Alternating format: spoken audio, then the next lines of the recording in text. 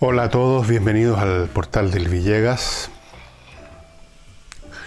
Vamos a, a partir con y contándoles a los que han comprado ya, bueno, no lo han recibido, pero lo van a recibir pronto, el libro, el último libro que produje, Grandes Invitados, y hay unas ilustraciones realmente espectaculares, ya las van a ver, y son de don, don Pablo Sánchez, que es uno de los auditores de este, o visitantes de este programa, que se sumó a nuestro libro para hacer las ilustraciones y mm, ilustraciones de todo tipo, caricaturas, retratos realistas de personas y les aseguro, cuando ustedes vean los, los dibujos de los personajes que aparecen en mi libro se van a impresionar bastante.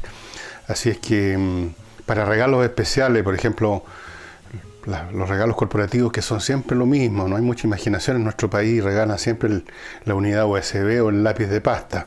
Bueno, aquí tienen una posibilidad, dibujos de sus invitados, Em, ¿Dónde se contacta Pablo? Para que vean nada más su trabajo.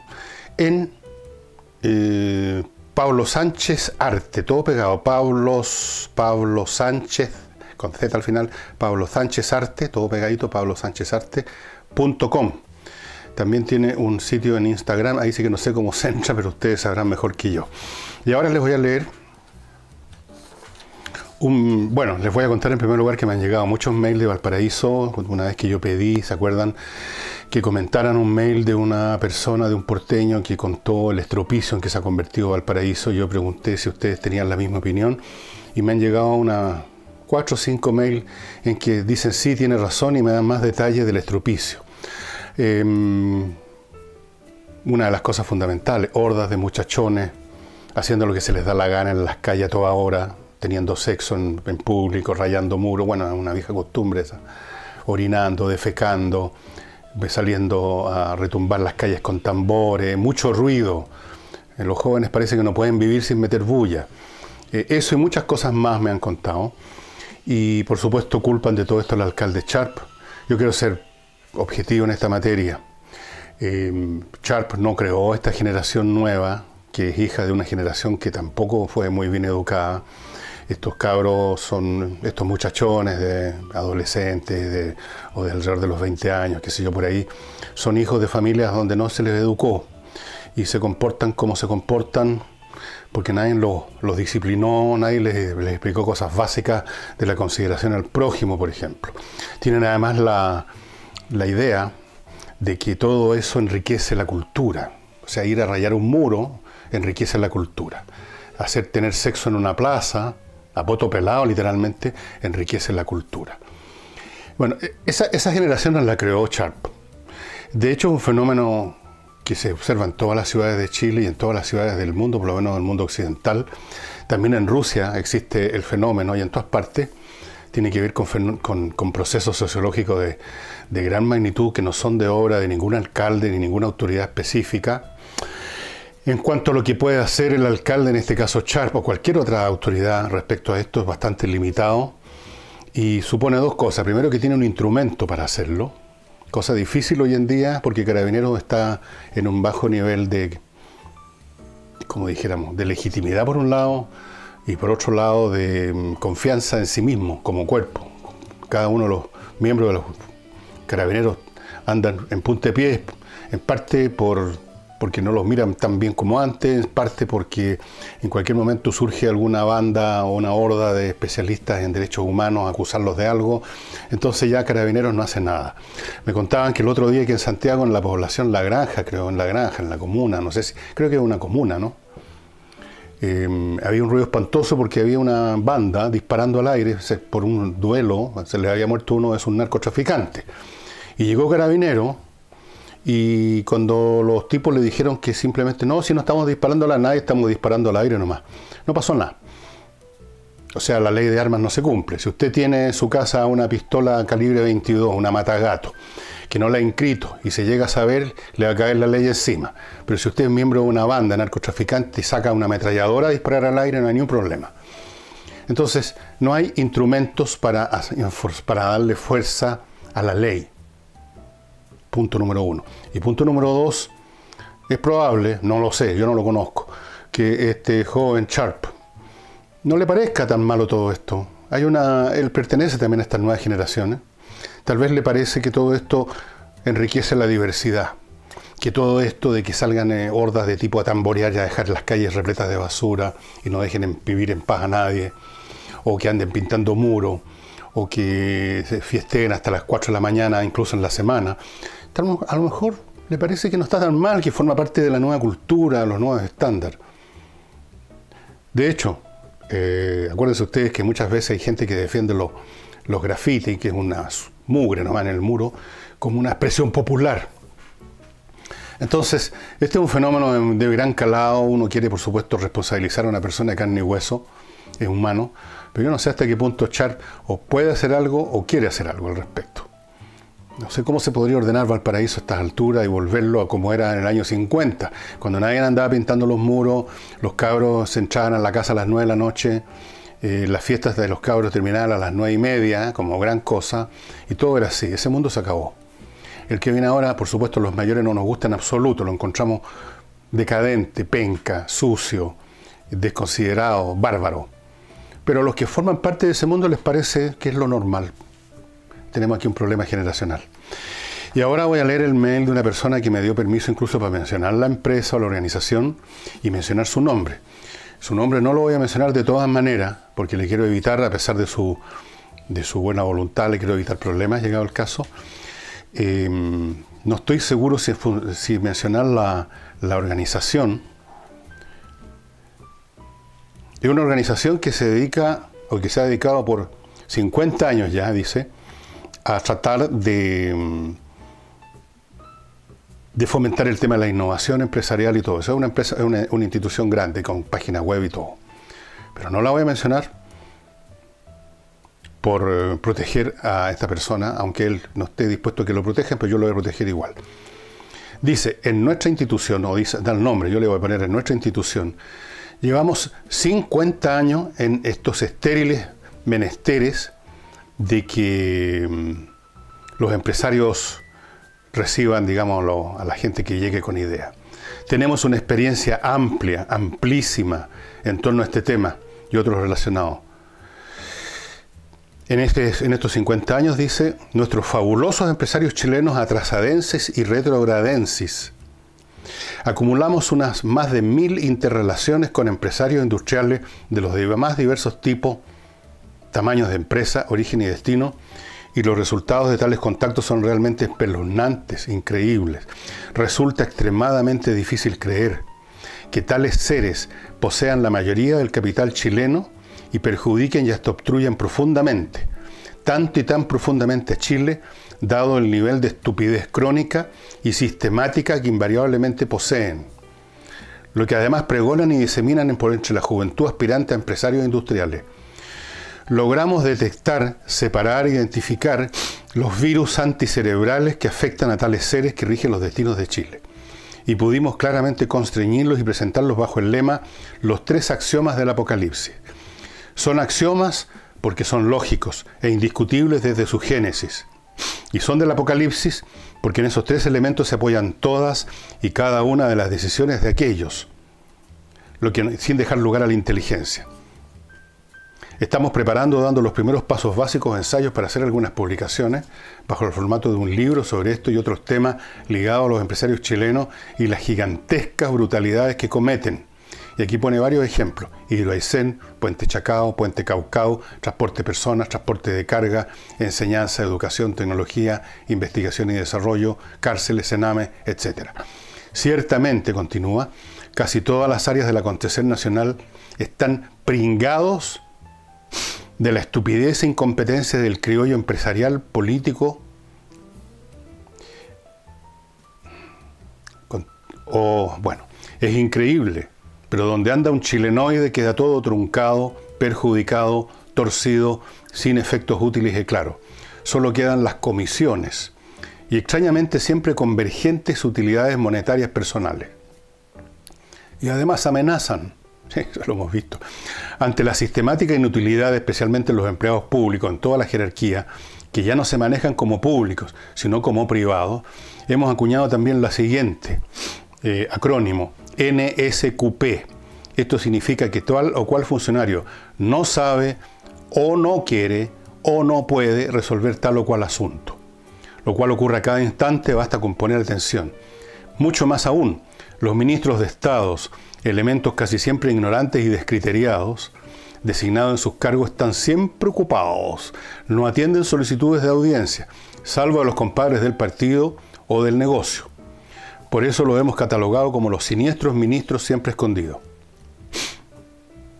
Bueno, es un, mail bastante enojado, porque seguramente una persona que trabaja en una, institución que se dedica a tratar de desasnar a los asnos y se enfrenta con la imposibilidad de lograrlo, pierde la paciencia.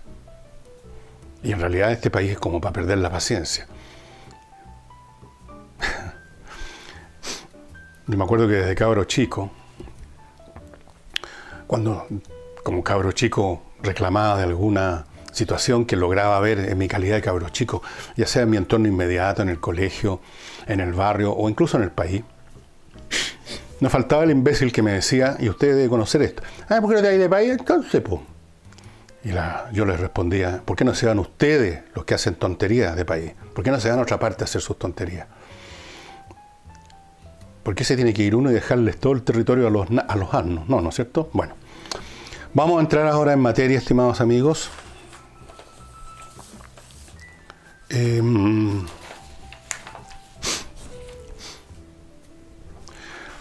la coordinadora No Más AFP, que en un momento dado estuvo muy de moda el año pasado, antepasado, y que juntaba harta gente, hizo una nueva marcha o concentración, no reunió casi a nadie, habían 2.000 pelagatos, y lo cual demuestra que algo sucedió en la mente de los chilenos, capaz que algunos de ellos empezaron a dar la molestia de abrirlos sobre con las cartillas que les mandan la AFP y hacer un poquito de aritmética elemental para ver cuánto los han robado y aplastado.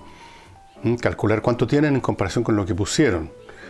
O simplemente la gente ya se que abrió las marchas, las concentraciones y la gritería. No sé, el hecho de que fueron 2.000 personas según los cálculos, nada.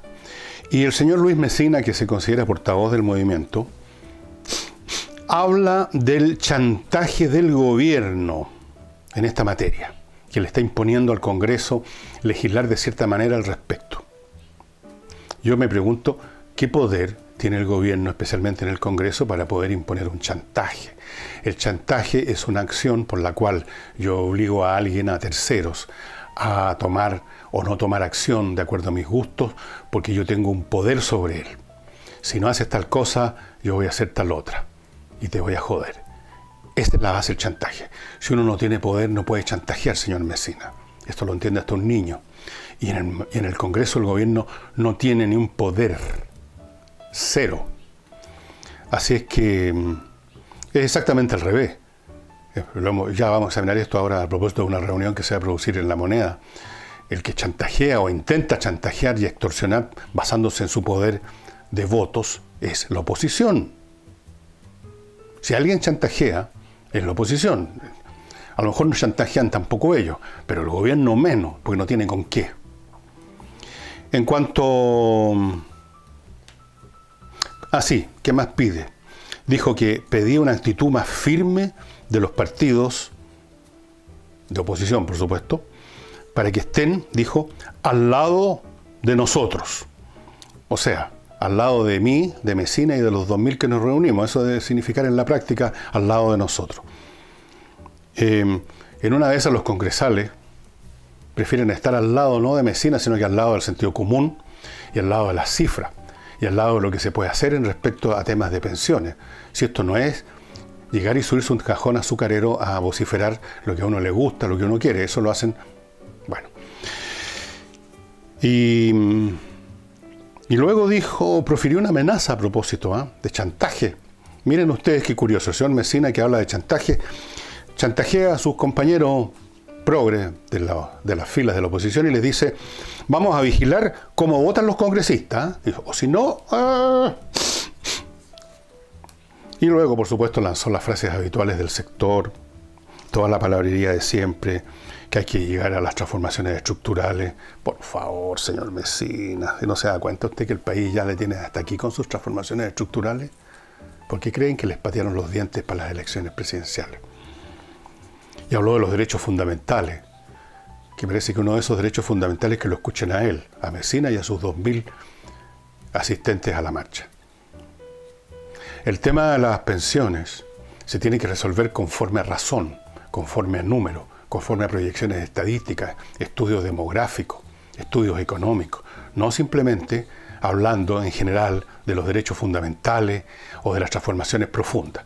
Ese lenguaje, ese lenguaje vacío y altisonante, no lleva a ninguna parte, señor Mesina.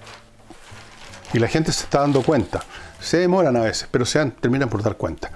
Y antes de continuar, les quiero recordar, estimados amigos, que hay unos perfumes deliciosos que se producen en la zona más ilustre de producción de perfumes del planeta, que es en el sur de Francia, en la zona de, ¿cómo se llama esta zona? Grasse.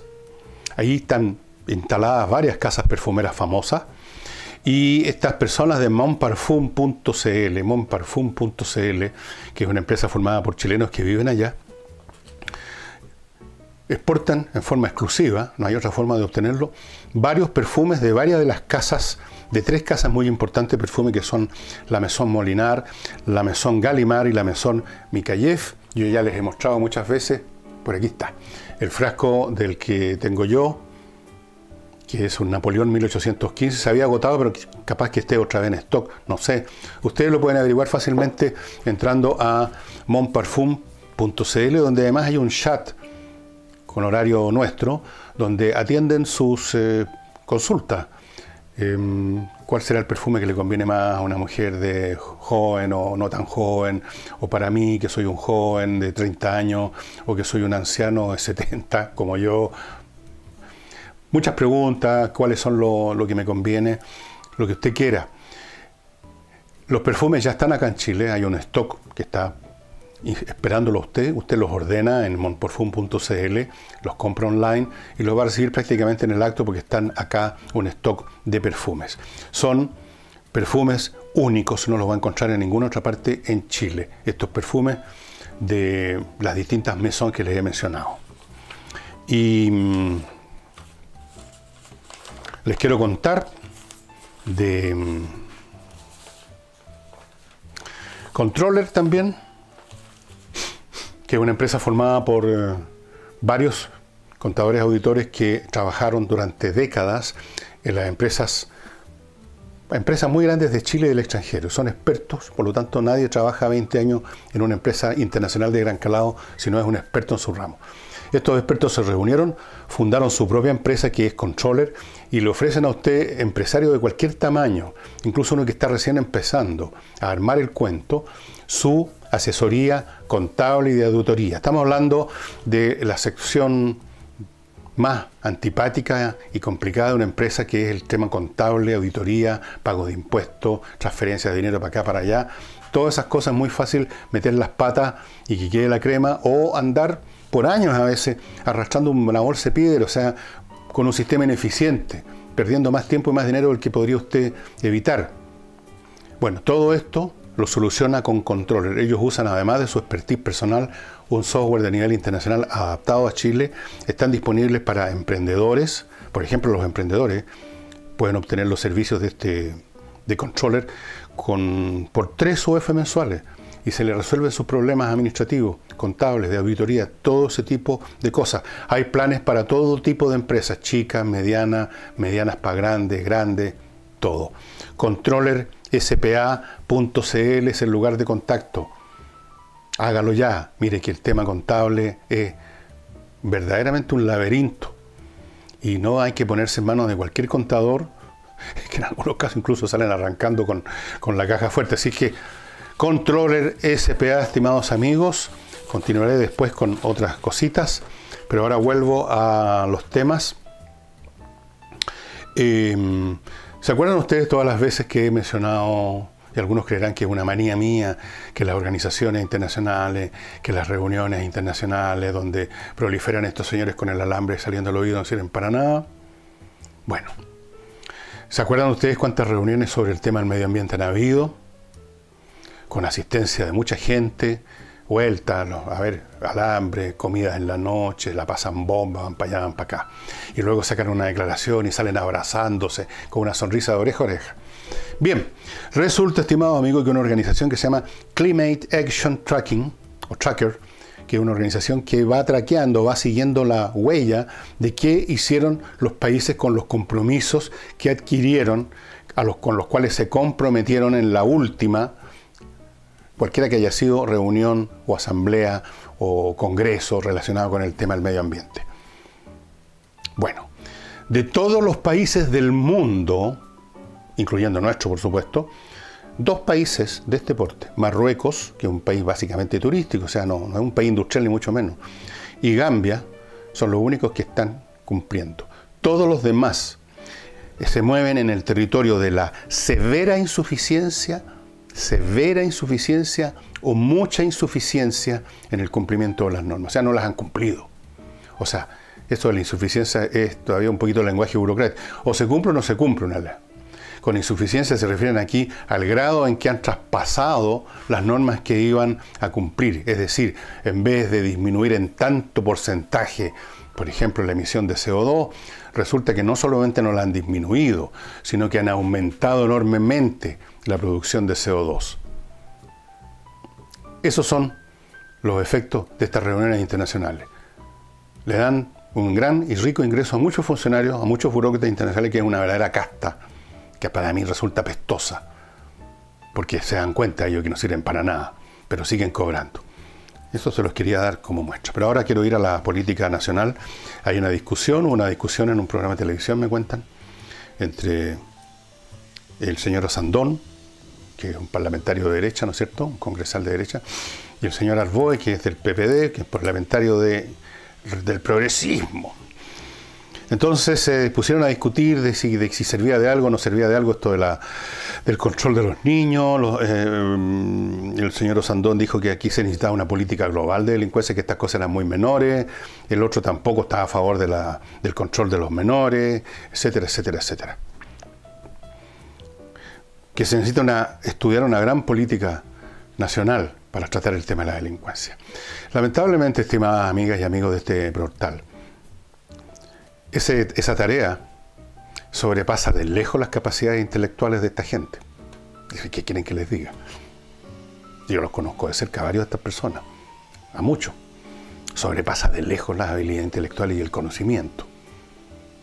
Yo vuelvo, siempre digo lo mismo y creo que no me equivoco. Si les pasaran a ustedes un problema con una regla tres simple, probablemente no la saca nadie en el, Congreso.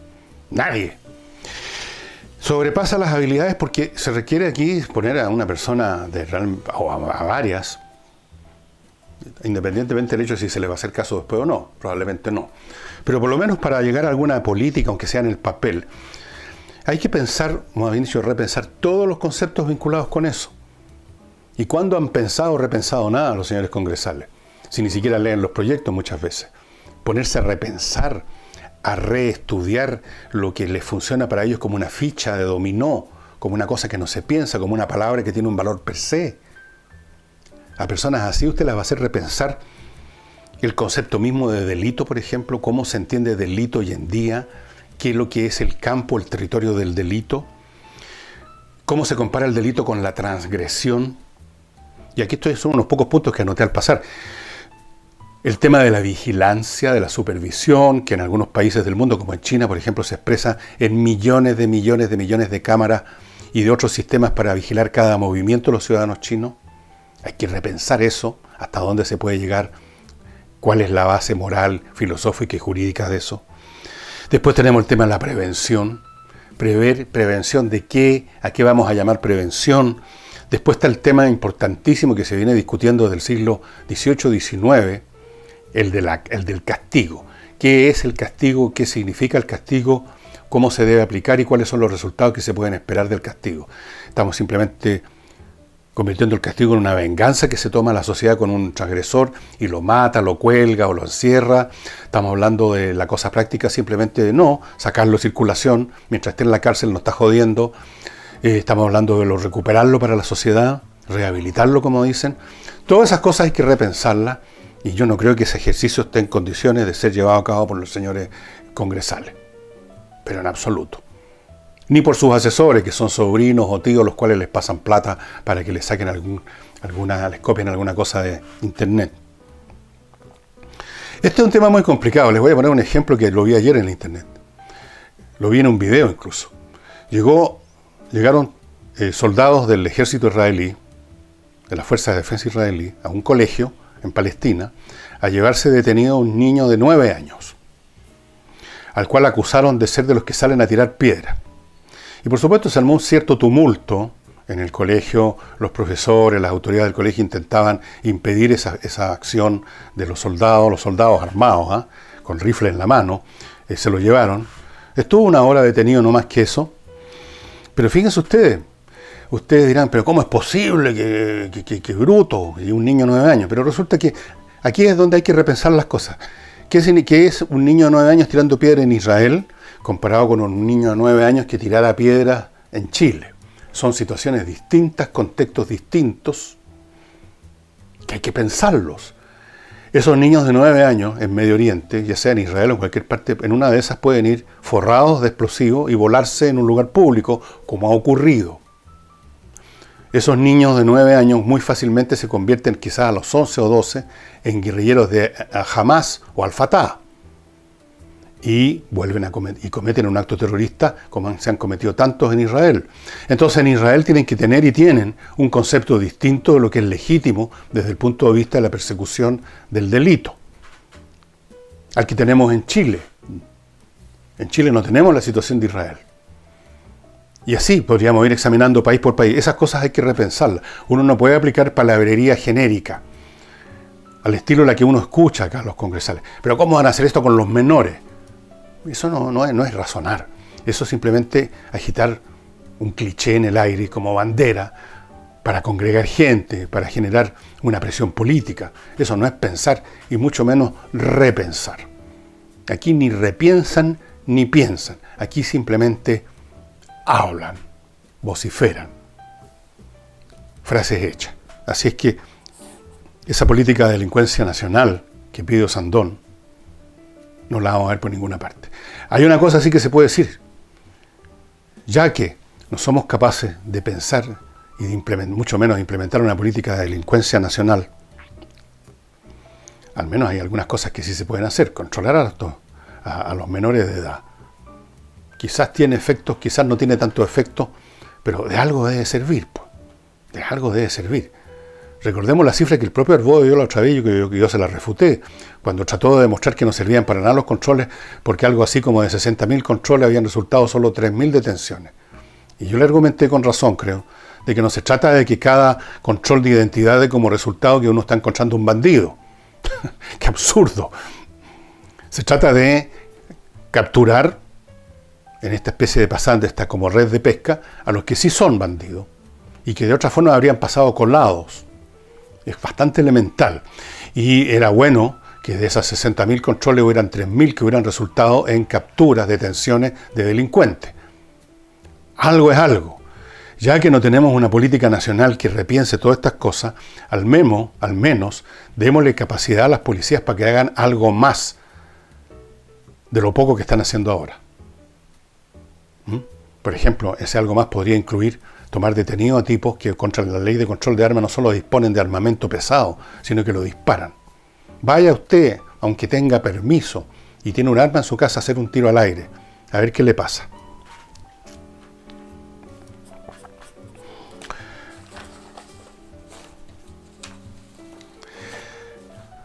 No se vayan a olvidar, estimadas amigas y amigos, si quieren comprar una joya, de entrar al sitio Bowmex.com, que es la tienda online más grande de Chile en esta materia. La más grande, pero más importante que eso, la que tiene las joyas más hermosas. No solo hechas con metales preciosos, como es obvio que tienen que ser hechas las joyas, sino que con diseños únicos, creados por orfebres que son verdaderos artistas. Y si usted cree que estoy exagerando, entre pues. Compruebe lo que yo le digo en bowmex.com, que además por sus compras le ofrece un 30% de descuento. ¿Qué tal? 30% de descuento, estimados amigos, por esta materia. Y si tiene algún problema legal, no olvide, problema legal civil, no criminal, no laboral, no, el tipo de cosas con que se enfrenta un ciudadano normal o que se puede enfrentar. Temas relacionados con divorcio, tuición de niños, pago de pensión alimenticia, contratos mal hechos, cómo hacerlos bien, disputas por herencia, todo ese tipo de conflictos, pleitos legales civiles entre civiles, normales. Cuando llega el momento de los cubos y uno empieza a pedir por teléfono que le den una recomendación, bueno, uno puede caer en mano cualquiera. Salinas y Ojeda le ofrecen, Salinas y Ojeda le ofrecen a ustedes servicios de profesionales que se dedican exclusivamente a estos temas, son especialistas en estos temas, trabajan a conciencia y tienen resultados muy buenos por ese motivo. Salinas y Ojeda. Ahí están ustedes viendo a mi izquierda los datos de este buffet de abogados especializado en el tipo de tema en que usted o ya está o puede estar. Si no está en ninguno, estupendo, pero vaya anotando en su agenda, en su guía personal de teléfono, donde tiene el número de un gafiter, el número de cómo llamar a la, para que le resuelvan los temas de Internet, anote los datos de Salinas y Ojeda. Y mm, continuando con, con los temas que tengo anotados, hoy día tengo hartos temas. El Frente Amplio anunció, bueno, se reúnen estos días, hoy día, mañana, pasado, esta semana, y se incluyendo al Partido Humanista que decidió ir. Em, y ya empezaron a decir, esperamos que esta reunión sea más que un gesto porque hemos visto una actitud rígida y obtusa del gobierno. Esto primero me recordó ese chiste del gallo que va a pedir prestar la guitarra, no sé si ustedes se acuerdan, tipo que va a pedir prestar una guitarra a un amigo mientras va caminando va pensando, este gallo, ¿qué me va a prestar la guitarra? No, no piensa prestarme la guitarra, este gallo es un egoísta, nunca presta nada a nadie, por Dios que escamote. Entonces cuando toca el timbre le abre el gallo ya al tiro le dice, ¿sabéis qué más? Métete donde te quepa la guitarra. Bueno, esto están haciendo exactamente lo mismo. No se han reunido y ya están diciendo que han visto una actitud rígida y obtusa. Pero esto es el mundo al revés, estimado amigo, una vez más. La actitud del gobierno, por lo que hemos visto desde el primer día, ha sido más bien complaciente con la oposición. Los han invitado a reunión. Esta reunión misma es una muestra. Al principio del gobierno trataron de armar unas mesas donde fueron muy pocos. Las votaciones. Recién, la semana pasada, hemos visto al ministro de Hacienda eh, anunciando que van a cambiar otro poco más su proyecto reforma a la reforma tributaria del gobierno de la señora Bachelet para acercarse a las posturas de la oposición. Hemos visto a gente dentro del gobierno que son más papistas que el Papa o más feministas que la feminista, como la señora Pla, que le falta enrollarse en una bandera sobre el tema. Es decir, en términos de actitudes personales de la gente del gobierno y de cómo planean los proyectos y de qué manera tratan de acercarse a la oposición, yo no veo ahí ninguna rigidez obtusa, ninguna ninguna actitud inflexible. Todo lo contrario. Aquí los rígidos y los inflexibles ha sido la oposición, que muchas veces se niegan hasta ir a discutir un tema, pues. Este es un ejemplo extraordinario de lo que se llama en psicología proyección neurótica. O sea, yo soy rabioso y veo a los demás como rabiosos. Yo soy celoso y veo celópatas por todos lados. Yo soy apretado, como tantos chilenos, y a los demás los, los, los trato de avaro o de mezquino. Incluso un señor, un señor del Frente Amplio, el señor Juan Ignacio Latorre, de alguna forma confiesa esta actitud diciendo lo siguiente, lo voy a leer textual. No veo una voluntad real de diálogo y de llegar, escuchen bien, y de llegar a acuerdos en los términos que la mayoría parlamentaria de oposición ha planteado. O sea, en la visión de este caballero, si el gobierno no va a rendirse y acepta los puntos de la oposición, entonces es rígido. No quieren un diálogo, quieren que se firme un acta de rendición.